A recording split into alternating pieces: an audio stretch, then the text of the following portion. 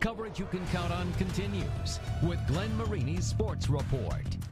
With the NHL lockout over, the Komets will spend the next few days in limbo. American Hockey League players will move up to the NHL. AHL teams will refill their roster with the best guys now playing in the ECHL. The Komets uh, will likely lose five to seven players, and that includes Corey Elkins. He just got called up this afternoon. It doesn't include leading scorer Thomas Beauregard. Beauregard just put on the 21-day injured reserve list. He's got an upper body injury. The K's are in action tonight at Evansville. And Coach Al Sims says he thinks his team will be in good shape when the roster shakeout is all said and done.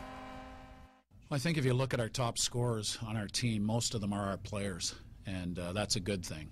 Um, obviously, Elkins is a great player, so was Lash, but uh, you know, you look at Marino and uh, Smith, Chalk, uh, all the guys at the top of our scoring parade are our players, and uh, uh, a lot of teams like uh, you know Cincinnati with 15 pros and two affiliations won't lose five; they'll lose you know eight to ten players. So it's uh, it's going to really change things. Puck drops at 8:15 tonight in Evansville.